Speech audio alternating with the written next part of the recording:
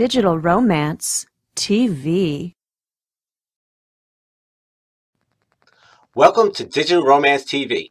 I'm Joe Amoia, founder and creator of the GPSforlove.com.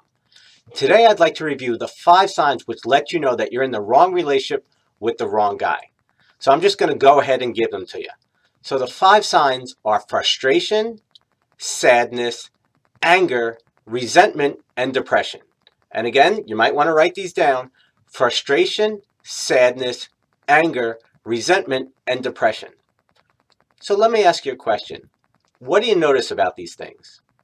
Well, if you look closely, what you'll realize is that there are five negative emotions.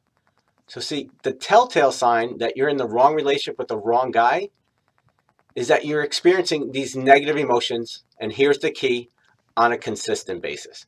Because let's realize, let's be honest, there are going to be times in your relationship where you're dating somebody or you're in a long-term relationship or even a marriage where you're frustrated, where you get a little sad, you get a little pissed off.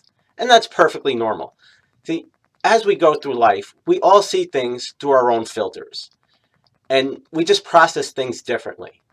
And so it's perfectly understandable. And when you're in a relationship with that someone special, sometimes you agree to disagree. You simply realize that I see it black, you see it white. Doesn't make you wrong or me right. We just see it differently. And that's actually a healthy thing. It's actually what builds communication, what makes a relationship stronger. However, the key is to realize if you're in a relationship, you're in a marriage, you're dating someone where you're consistently experiencing one of these five emotions on a regular basis, it's a sign. It's a sign that your needs aren't being met. See, the reason you experience these negative emotions is because on some level, one or more of your core needs isn't being met. The truth is, if you're going to be in a relationship with someone, you're going to spend your life with that person, there are some things that you absolutely positively need. See, I'm not a big believer in unconditional love. I believe that you can love someone from that place, but if you're going to be in a relationship with someone, there's got to be conditions. There are things that you need in order for you to be happy. There's things that you need in order for you to be safe. And so I call these things essential needs.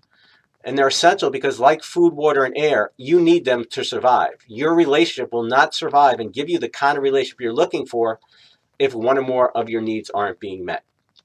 So the key is to recognize that you're experiencing these negative emotions, and here's the key again, on a consistent basis.